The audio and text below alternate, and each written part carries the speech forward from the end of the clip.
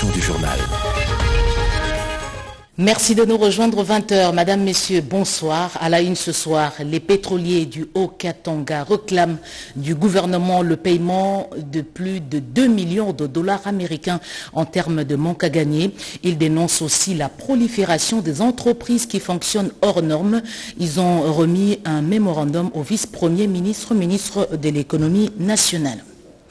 Journée africaine de détention préventive, focus sur la prison centrale de Makala.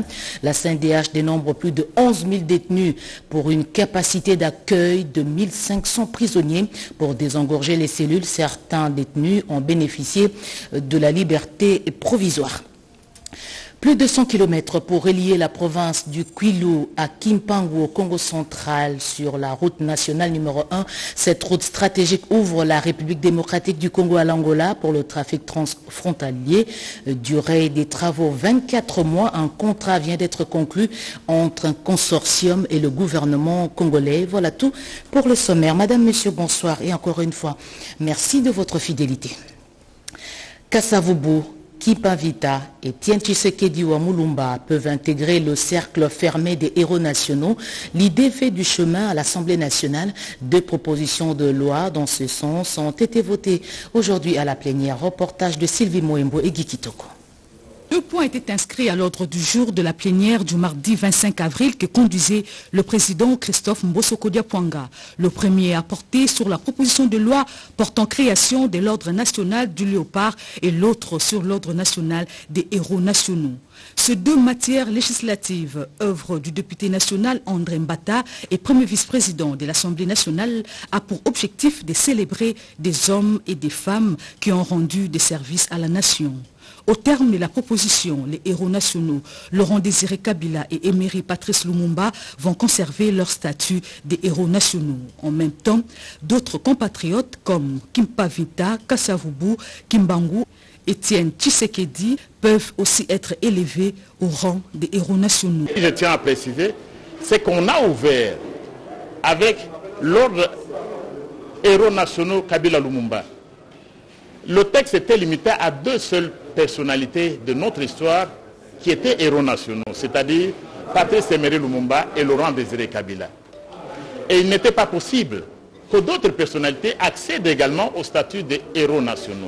De 38 intervenants qui se sont succédés à la tribune, la majorité est revenue sur la révision de deux textes de loi numéro 009-2002 du 5 mars 2002. La première des résolutions que j'ai soumise au bureau de l'Assemblée nationale, c'était d'élever euh, au rang d'héros national M.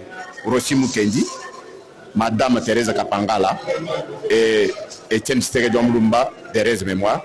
Les deux propositions de loi sont renvoyées à la commission politique, administrative et juridique qui dispose de 7 jours pour enrichissement des textes. Le gouvernement doit de l'argent aux pétroliers pour compenser le manque à gagner pris en charge par la subvention. Le groupe du Haut-Katanga est venu présenter le dossier à Vital Caméré. La facture est évaluée à plus de 2 millions de dollars américains. Sandra Nyangita Kassou. C'est dans ce mémorandum d'une dizaine de pages remis au vice-premier ministre, ministre de l'économie nationale Vitel Caméré, que les opérateurs économiques du Haut-Katanga et du Lualaba ont repris leur désiderata axés essentiellement sur les problèmes qui gangrènent leur secteur de l'injustice dont font face les pétroliers du Haut-Katanga suite à la certification et au manque de paiement des pertes et manques à gagner qui avoisinent 208 millions de dollars, en passant par la prolifération des entreprises pétrolières, parfois sans infrastructure adéquate, de la multiplicité des taxes routières et aux frontières, des missions économiques et parlementaires intempestives dans les entreprises privées, pour ne citer que ça. Patrick Molland, président des pétroliers de la zone sud et président de la fête du Haut-Katanga, était accompagné de son collègue de Lualaba et des quelques membres de la FEC. Il était important donc pour nous de venir et rencontrer le vice-premier ministre pour lui faire part de l'urgence, de l'engagement, de respecter les engagements par l'État en ce qui concerne le paiement des pertes et manques à gagner. Ensuite, il était question que nous abordions le deuxième palier de nos discussions et de nos échanges, qui portait sur la situation économique en général dans la partie sud, c'est-à-dire dans la province du Lualaba et du Katanga, pour évoquer le climat des affaires dans cette partie du pays qui, comme nous le savons tous, constitue le poumon économique du pays actuellement. Visiblement préoccupé par la situation économique dans cette partie du pays, le vice-premier ministre, ministre de l'économie nationale Vital Caméré, a émis le vœu de mettre sur pied un mécanisme permettant aux opérateurs économiques de dénoncer tous les abus pour mettre fin aux tracasseries, mais aussi de publier et de vulgariser toutes les taxes. Le Conseil économique et social jette des passerelles pour construire la collaboration avec d'autres structures similaires à travers le monde. L'Union des conseils économiques et sociaux francophones est en mission à Kinshasa, détail Animbalaka. Le Conseil économique et social de la République démocratique du Congo a reçu en visite de travail le lundi 24 avril 2023 une délégation de l'Union des conseils économiques et sociaux et institutions similaires francophones conduite par Elodie Kousti, vice-présidente du Conseil économique, social et environnemental de la France. Cette visite a été une occasion pour examiner des mécanismes de collaboration dans les différents domaines et créer des liens d'échange et d'amitié entre ces institutions et le Conseil économique et social de la RDC. Profitant de cette occasion, le président du Conseil économique et social, Jean-Pierre Kiwakana, a également présenté à ses invités l'organisation de son institution ainsi que certaines de ses réalisations. C'est la première fois que nous nous déplaçons en Afrique centrale et nous sommes ravis de rencontrer nos homologues euh, du Congo. Et nous avons été très bien accueillis et nous espérons que nos travaux euh, d'échange et de meilleure compréhension de nos pays euh, vont nous permettre d'avancer, de faire avancer la société civile organisée dans des projets de collaboration et de partenariat qui seront plus forts entre nos deux pays. Pour rappel, le Conseil économique et social de la RDC est membre de quelques organisations internationales réunissant les conseils économiques et sociaux des différents pays et ce, en tant qu'institution destinée à favoriser les débats et les dialogues entre forces sociales et économiques de leurs pays respectifs. Activer le fonds de réparation des préjudices subis par les victimes des violences basées sur le genre, la première dame de la République démocratique du Congo maintient son combat. Denise Nyakero Tshisekedi a présenté au corps diplomatique les avancées dans le processus pour opérationnaliser ce fonds. Naïcha Kialamouila. Sans désemparés, les victimes des violences sexuelles basées sur le genre en République démocratique du Congo avancent vers une réparation des dommages subis. Le processus amorcé grâce au plaidoyer de la distinguée première dame de la République, Denise Nyekiro Tshisekedi, a déjà franchi plusieurs étapes cruciales. Depuis la table ronde inclusive avec les acteurs concernés, plusieurs actions ont fait progresser le pays vers cet objectif ultime. Je tiens par ailleurs à saluer l'implication de toutes les institutions congolaises dans la concrétisation de ce projet humain et juste particulièrement le chef de l'État, son Excellence M. Félix-Antoine Tshisekedi Chilombo, champion de la masculinité positive pour son sens élevé d'écoute des revendications des victimes et son engagement personnel dans la mise en place de ce dispositif et pilier important de la justice transitionnelle. Ces efforts conjugués de l'État, de la société civile et des partenaires internationaux nous laisse espérer à un avenir meilleur. Actuellement, le processus est entré dans sa phase de vulgarisation en attente du décret et ordonnances qui vont actionner sa mise en œuvre. Au cours de cette rencontre d'échange, les premiers partenaires identifiés ont été éclairés sur les actes déjà pris et qui devront aboutir à une réparation dans tous ces aspects.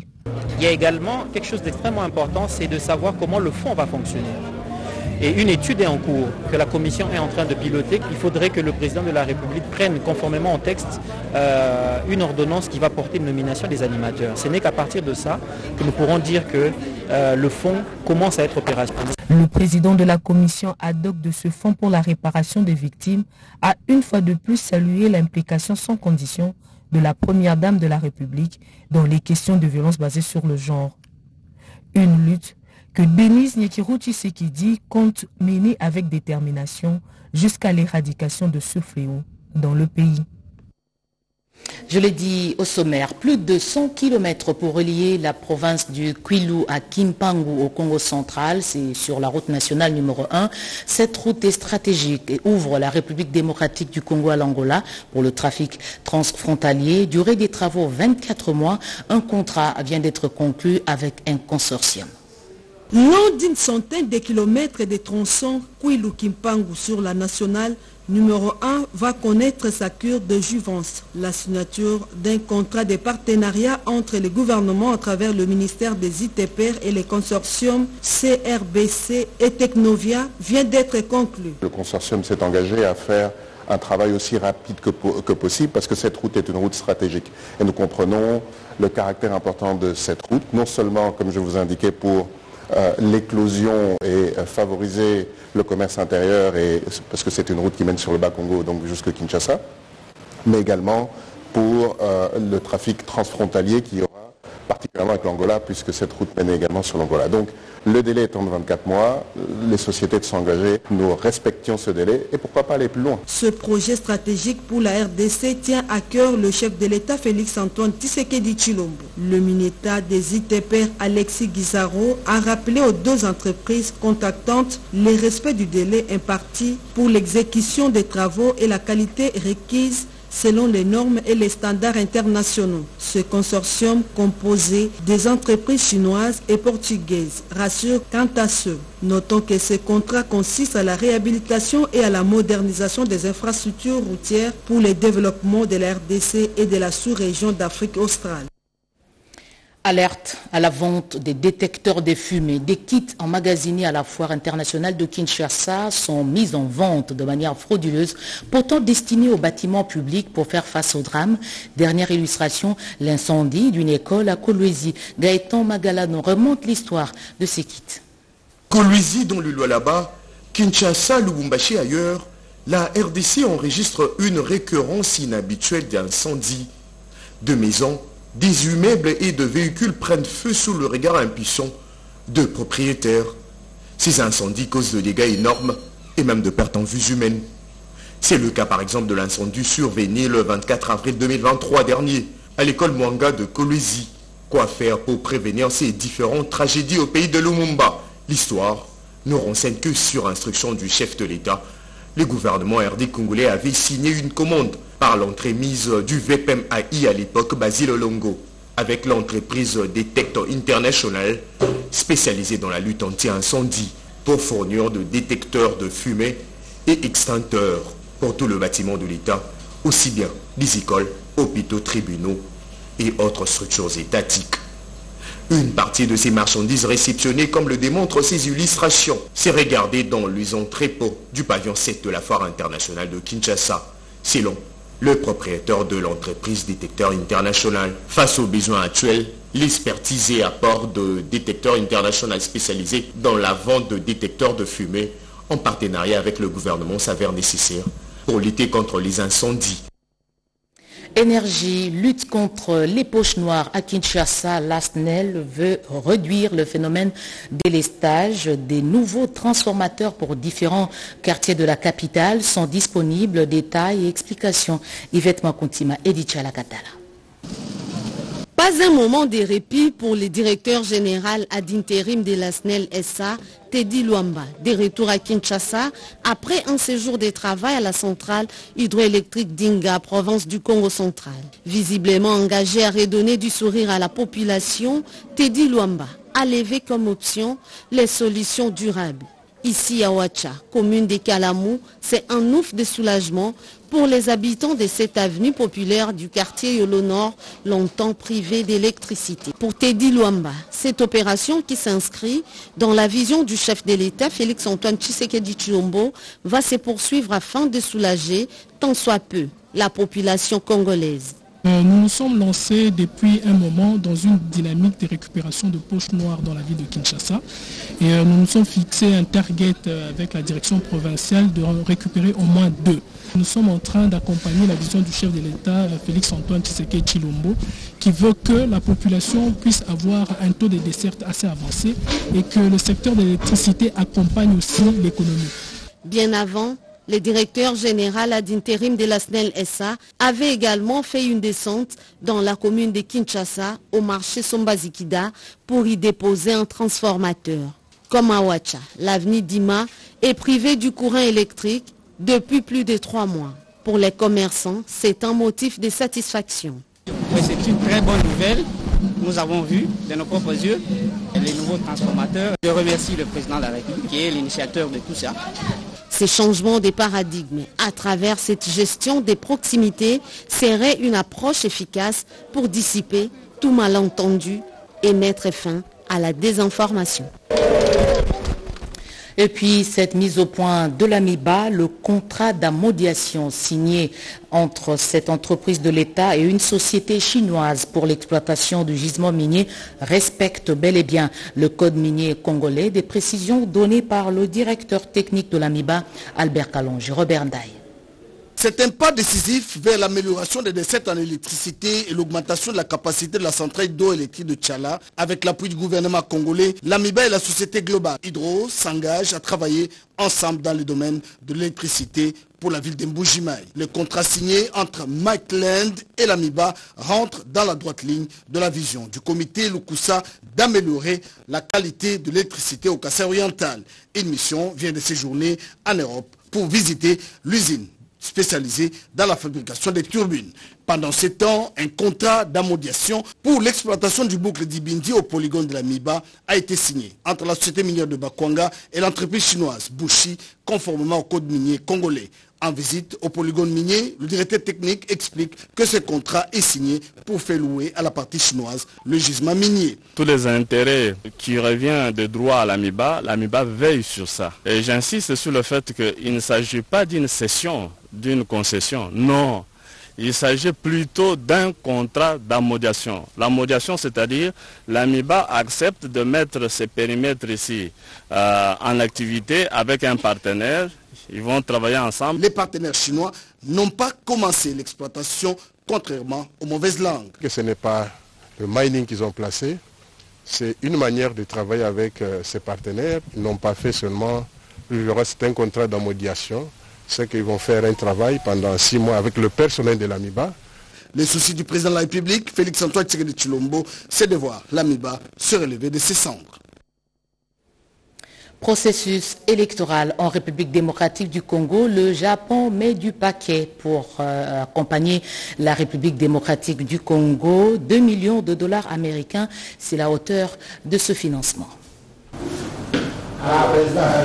Le Japon apporte son assistance financière destinée à appuyer les élections, surtout dans la partie orientale de la République démocratique du Congo en proie à un climat d'insécurité ayant occasionné les déplacés massifs des populations.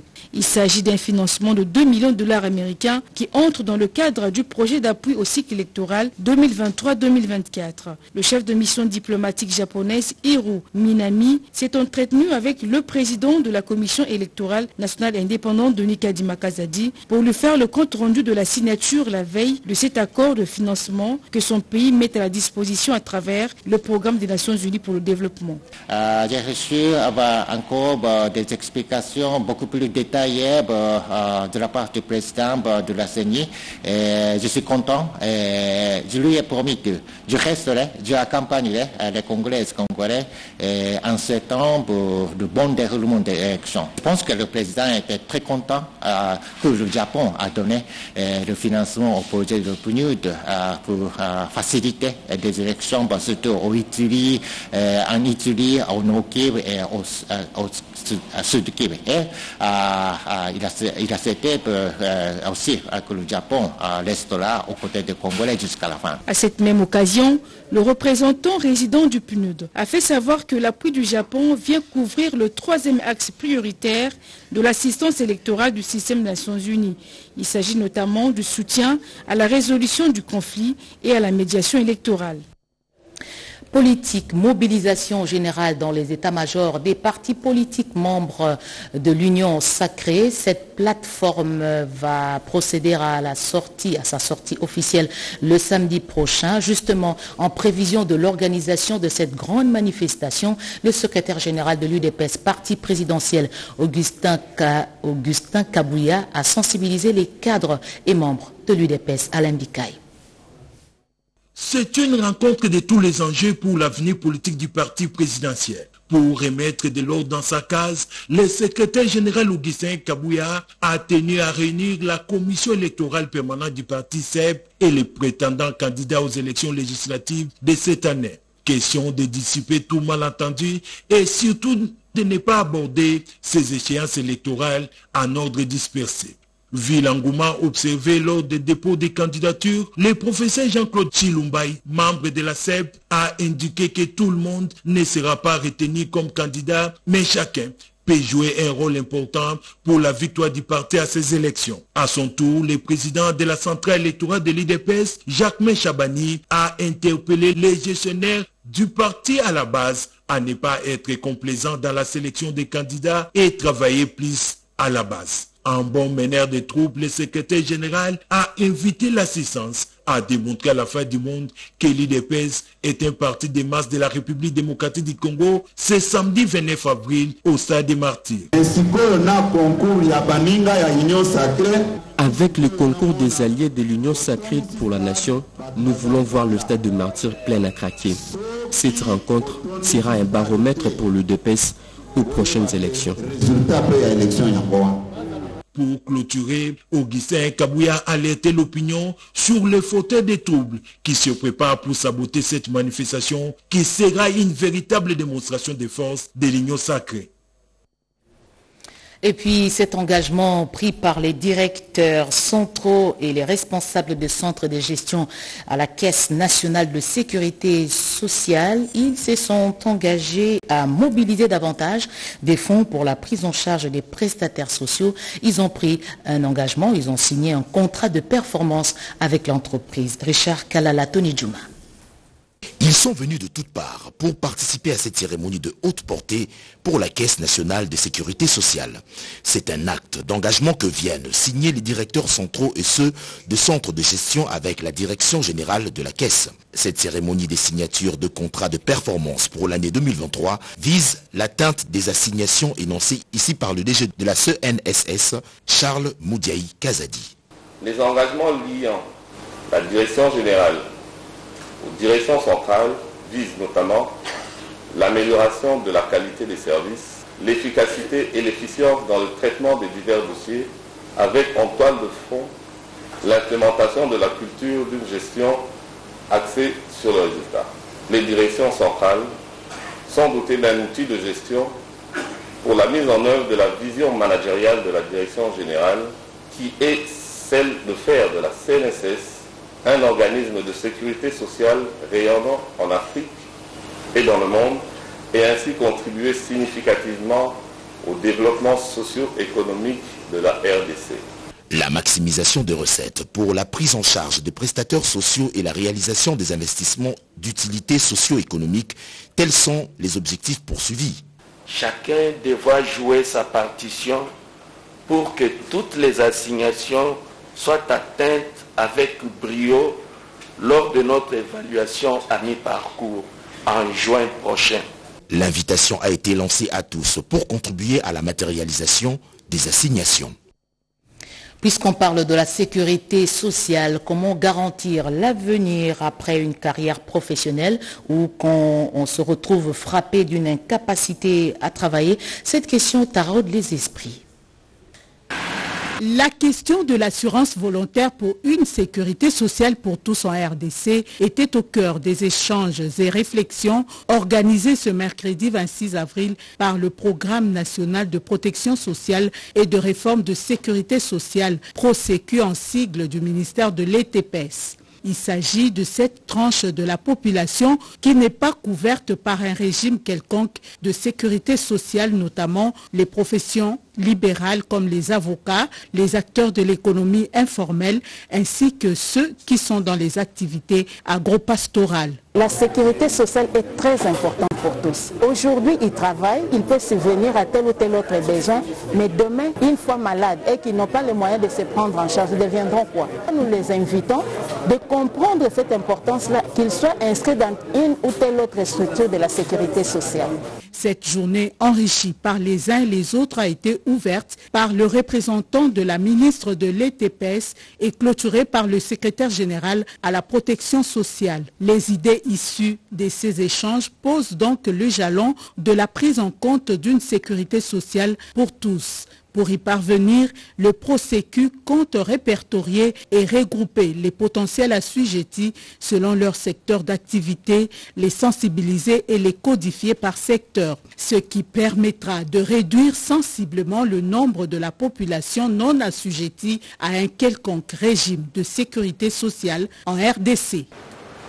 Des améliorations sont annoncées dans le traitement des agents de l'INPP. Un accord a été signé entre le banc syndical et l'entreprise autour de l'augmentation justement du salaire. Euh, des précisions avec Diane Balaka.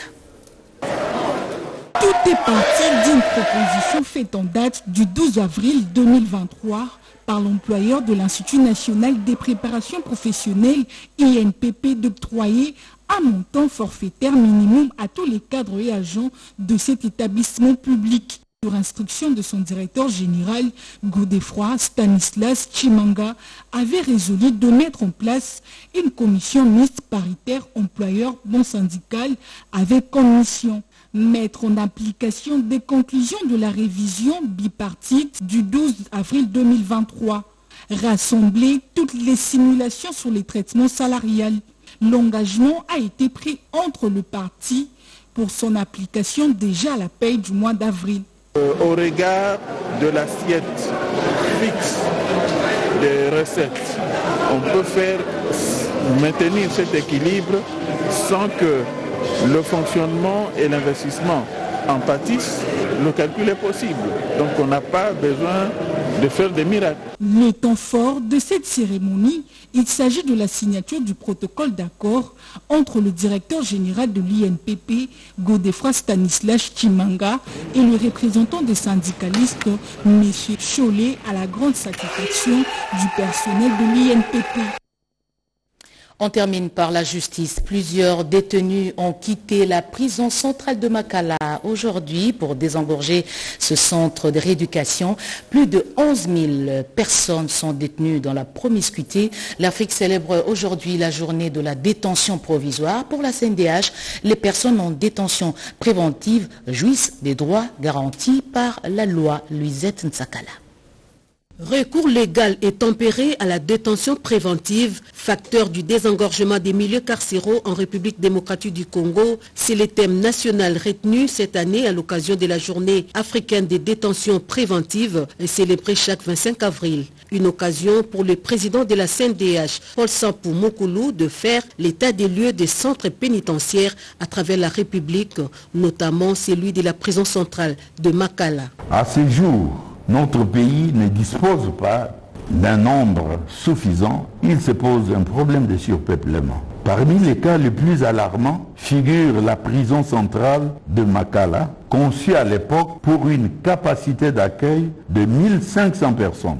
Elle compte à ce jour 11 031 détenus. En tant qu'organe chargé de la promotion et la protection des droits de l'homme, la CNDH recommande harmoniser l'administration des parquets et celle des différentes prisons, ce pour éviter l'inadéquation entre celles-ci dont les conséquences sont préjudiciables aux détenus préventifs. Que prévoit la loi congolaise sur les conditions de détention? Les personnes en détention préventive jouissent, elles aussi, de droits garantis par la Constitution dans son titre 2 consacré aux droits humains liberté fondamentale et des devoirs du citoyen et de l'État.